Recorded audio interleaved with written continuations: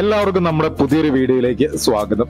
ഈ ഞായറാഴ്ച ഞങ്ങൾ റൂമിൽ വെറുതെ ഇരുന്നപ്പോൾ വൈകിട്ടാണെങ്കിൽ പെട്ടെന്ന് തന്നെ അരവിന്ദന്റെ ബൈക്കൊക്കെ എടുത്ത് ഞങ്ങൾ കടമക്കുടി ഐലൻഡിലേക്ക് പോകാന്നൊരു തീരുമാനം എടുത്തിട്ടോ? വളരെ പെട്ടെന്ന് എടുത്തൊരു തീരുമാനമാണ്. അതുപോലെ നമ്മുടെ റൂമിനും തൊട്ടടുത്താട്ടോ ഏകദേശം ഒരു പതിനഞ്ച് കിലോമീറ്റർ പോയാൽ മതി. അപ്പൊ ഞങ്ങൾ കണ്ടെയ്നർ റോഡ് വഴി നേരെ പോകുന്ന പിഴല പാലത്തെ ഒരു സൺസെറ്റ് വ്യൂ ഉണ്ട്.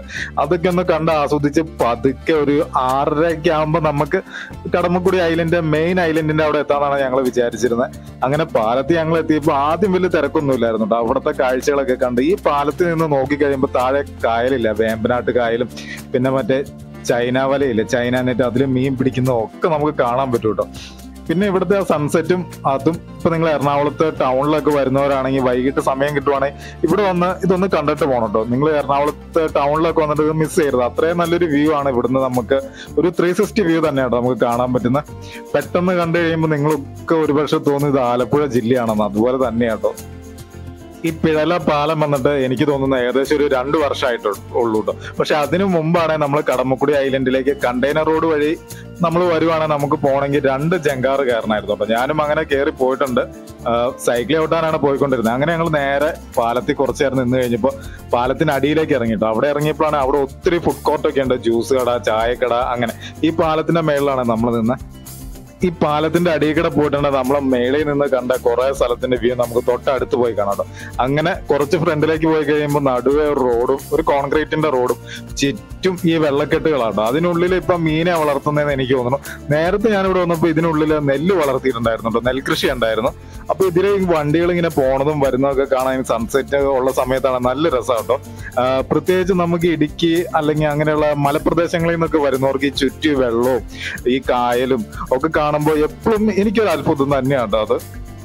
ഞങ്ങൾ പോയ സമയത്താണെങ്കിൽ സൺസെറ്റ് അത്ര ഇതല്ലായിരുന്നു കേട്ടോ മഴക്കാറൊക്കെ ഉണ്ടായിരുന്നു. അതുകൊണ്ട് തന്നെ ഒരു മൂടിയ അവസ്ഥയായിരുന്നു. ഞാൻ നേരത്തെ ഇവിടെ വന്നപ്പോൾ സത്യം പറഞ്ഞിട്ട് ഒരു ഗോൾഡൻ കളർ ആയിരുന്നു കേട്ടോ പിന്നെ ഞങ്ങൾ അവിടുന്ന് നേരെ കടമക്കുടി ഐലൻഡിലേക്ക് മെയിൻ ഐലൻഡിലേക്ക് പോവാൻ പോയിട്ട് ഒരു ആറു മണിയൊക്കെ ആയപ്പോൾ ഞങ്ങൾ അടുത്ത ചെറുവള്ളം കയറുന്ന സ്ഥലത്തെത്തി. ജങ്കാറല്ല കേട്ടോ. ഞാൻ നേരത്തെയാണ് ജങ്കാറെന്ന് തെറ്റായിട്ട് പറഞ്ഞായിരുന്നു.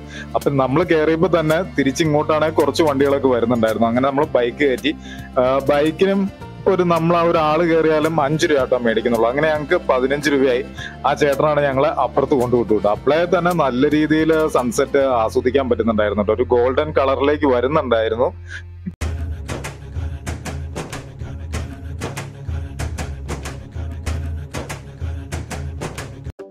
ഒരു മിനിറ്റ് പോലും എടുത്തില്ല കേട്ടോ. നമ്മൾ ഇപ്പുറത്തെത്തി. ദാ കാണുന്ന സ്ഥലത്തു നിന്നാണ് നമ്മൾ വന്നത്. അങ്ങനെ നമ്മൾ വീണ്ടും കടമക്കുടി മെയിൻ ഐലൻഡിലേക്ക് കയറിയിട്ടുണ്ട്. അങ്ങനെ വരുന്ന വഴിക്കാണ് ഒരു നല്ല അമ്പലം. അവിടെ നല്ല പാട്ട്. നല്ലൊരു ആംബിയൻസ് ആയിരുന്നു ഞാൻ ഒന്ന് അവിടെ ഇറങ്ങി കുറച്ചു നേരം അവിടെ നിന്നിട്ടാട്ടോ പോകുന്നത്. ഞാനൊരു വിശ്വാസിയല്ല അത് വേറൊരു കാര്യം. പക്ഷെ ഇങ്ങനത്തെ ഒരു ആംബിയൻസ് കാണുമ്പോൾ നമ്മൾ എന്തായാലും അവിടെ ഒന്ന് നിർത്തിപ്പോവും അങ്ങനെ നമ്മൾ ഇവിടുത്താണ് ഇവിടുത്തെ മെയിൻ വ്യൂ പോയിന്റ് കേട്ടോ ഈ കടമക്കുടിയിലെ മെയിൻ അട്രാക്ഷൻ ആയിട്ടുള്ള സ്ഥലം ടൂറിസ്റ്റ് സ്പോട്ട് എന്ന് പറഞ്ഞാൽ ഇപ്പൊ നിങ്ങൾ ഈ കാണുന്ന ഈ സ്ഥലം കേട്ടോ ഈ റോഡിന് രണ്ട് സൈഡും ഒത്തിരി ആൾക്കാർ വന്നിരിക്കും.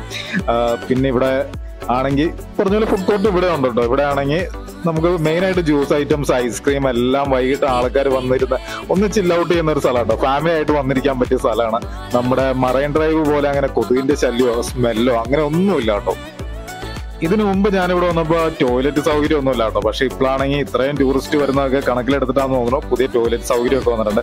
അങ്ങനെ ഞങ്ങളും ഈ ചെറിയൊരു വെള്ളക്കെട്ടിലേക്ക് വെള്ളം ഇല്ലായിരുന്നുണ്ട് അവിടെ വെയിൽ ഇറക്കായിരുന്നു തോന്നുന്നു. കാലൊക്കെ നീട്ടിയിട്ട് സൺസെറ്റ് ഒക്കെ കണ്ട് കുറച്ചു നേരം അവിടെ ഇരുന്നുണ്ട്. അങ്ങനെ ഇരുന്ന് കഴിഞ്ഞപ്പോൾ ഞങ്ങൾക്ക് പെട്ടെന്നൊരു ഐസ്ക്രീം മേടിച്ച് ഞങ്ങൾ രണ്ട് ഐസ്ക്രീം മേടിച്ചിട്ടു. പിന്നെ എനിക്ക് പറയാനുള്ള ഒരു കാര്യം എന്ന് പറഞ്ഞിട്ടുണ്ടെങ്കിൽ നിങ്ങൾ എറണാകുളത്ത് വരുമ്പോൾ ഈ മെട്രോയും ലുലുമാളും അല്ലെങ്കിൽ മറൈൻ ഡ്രൈവ് ഒക്കെ കാണാതെ ഇങ്ങനെയുള്ള ഒരു സ്ഥലം കൂടെ എക്സ്പ്ലോർ ചെയ്യാനായിട്ട് എല്ലാവരും പരമാവധി ഒന്ന് ശ്രമിക്കുക. വീഡിയോ കണ്ട് ഇഷ്ടപ്പെട്ടിട്ടുണ്ടെങ്കിൽ മാത്രം ചാനൽ ഒന്ന് സപ്പോർട്ട് ചെയ്യണം. എന്തെങ്കിലും കമന്റ്സ് ഉണ്ടെങ്കിൽ അതുകൂടെ പറയുക.